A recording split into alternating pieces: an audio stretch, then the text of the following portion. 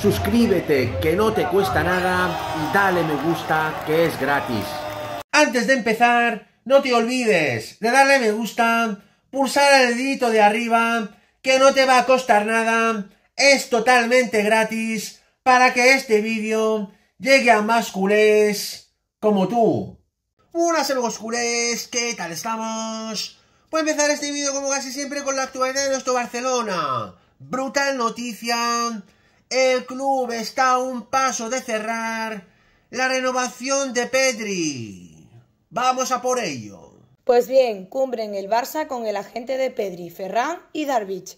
Deco y Héctor Pérez se citaron para después del partido ante el Bayern para repasar, entre otras cosas, la renovación del centrocampista canario.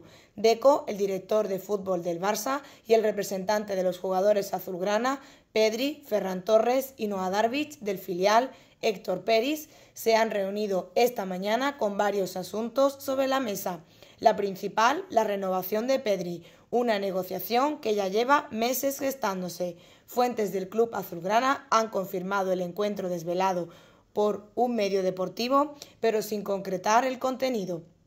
En el Camp Nou llevan tiempo en conversaciones para ampliar el contrato de Pedri, de 21 años, que termina en 2026 y que protagonizó un gran partido ante el Bayern. Los contactos se han ido sucediendo, aunque hasta el momento no ha habido fumata blanca, más que la confirmación de las dos partes de que se busca un entendimiento. La dirección deportiva le considera fundamental en el proyecto de futuro azulgrana. Sucede que hay prisa porque en junio le quedará ya un último año.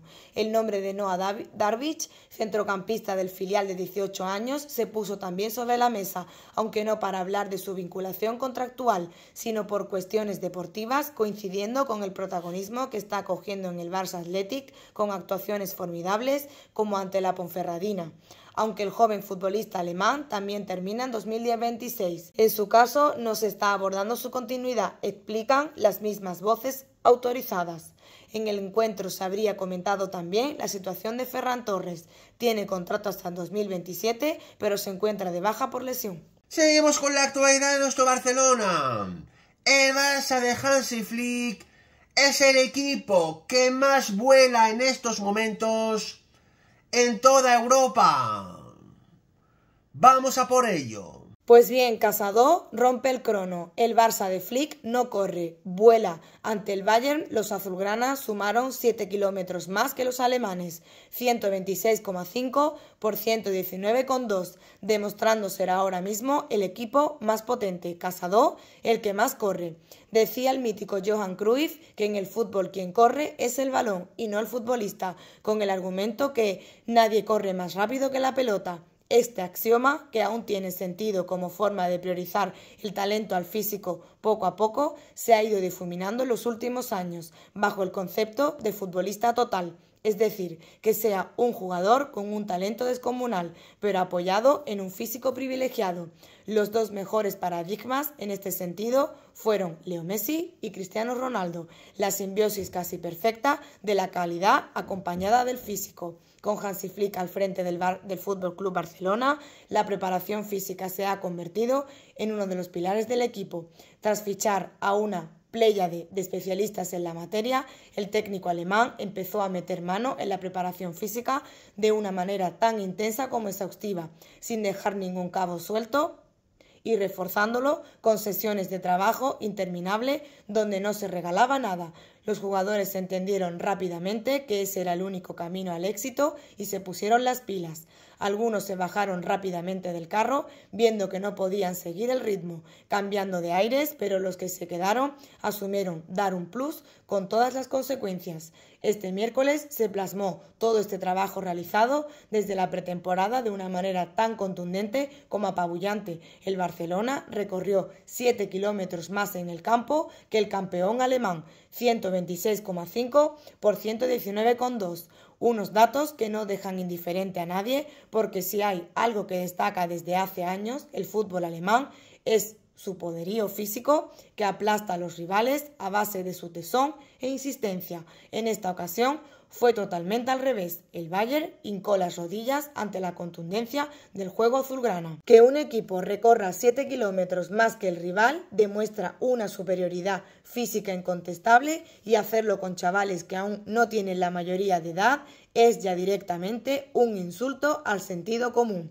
Casado, imparable. Hay que destacar especialmente a Marc Casado, el centrocampista que convenció a Flick durante la pretemporada y al que ya nadie ve fuera del once es el jugador que más kilómetros ha recorrido en estos tres primeros partidos de la Champions con una cifra de 35,6 kilómetros. Jules es el segundo en la lista con 32,7 kilómetros. Lo más importante es que los kilómetros recorridos por Casado no son en balde, son para ayudar a compañeros en las coberturas, para robar balones, para romper líneas de presión o para desmarcarse. Estos números escalofriantes del Barça de Flick son todavía más reveladores si lo comparamos con otros Barças de los últimos años, sin irnos de los partidos ante el Bayern en la humillante derrota ante el campeón alemán en 2020 en Lisboa, 2 a 8. El Barça, entrenado por aquel entonces por Quique Setién, recorrió 98 kilómetros, es decir, 28 kilómetros menos. Curiosamente, ese día en el banquillo rival estaba Hansi Flick, que dio un recital técnico y físico a los Blaugrana. En el mismo Hansi, que se sentará este sábado en el banquillo del Bernabéu, un Barcelona que llega a la cita contra el Real Madrid en un momento pletórico, con la confianza por las nubes y siendo ahora mismo el equipo más en forma del continente. Además, lo hace con las mejores sensaciones posibles, líder en solitario en la liga, con el Pichichi Robert Lewandowski, en estado de gracia con el jugador más en forma del momento, Rafinha, y acompañado del talento de un futbolista llamado a dominar el planeta en la próxima década, Lamin Yamal. Está más que claro que nuestro querido Barcelona esta vez sí que tiene un entrenador top de verdad. Ahí lo dejo. Y ahora seamos con el temazo principal. Como sabemos, el próximo lunes, 28 de octubre, se entrega el Balón de Oro 2024. Y en estos momentos hay tres favoritos para llevarse el galardón. Lamin Jamal, Erling Haaland y Vinicius Jr. Pues bien, atención a esta noticia bomba de última hora. Una fuente deportiva muy importante y cercana a France Football acaba de asegurar que a pesar de la propaganda barata de la caverna para que Vinicius Jr. gane el Balón de Oro 2024, no se descarta una sorpresa a última hora con el ganador del Balón de Oro 2024. La misma fuente afirma que esa sorpresa la puede dar el mejor jugador del mundo en la actualidad, que es nada más y nada menos que nuestro crack mundial canterano, Lamin Yamal. Os digo una cosa, a mí me da igual y me paso por el forro todas las propagandas cavernarias que afirman que Vinicius va a ser el ganador del Balón de Oro 2024.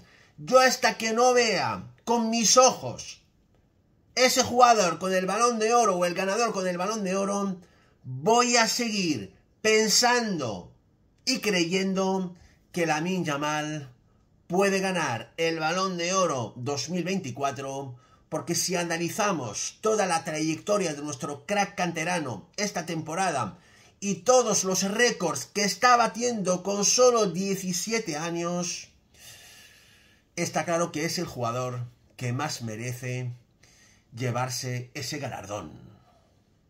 Estaremos atentos a los acontecimientos. Esto ha sido todo por hoy, amigos culés. No os olvidéis suscribirse a mi canal, que no os cuesta nada. Pulsar un like como siempre. Y dejarme comentarios para cambiar opiniones. Muchas gracias. Forza Barça por siempre. Forza nuestro crack canterano, la Minja Mal. Y nos vemos muy pronto en mi próximo vídeo. ¡Vamos!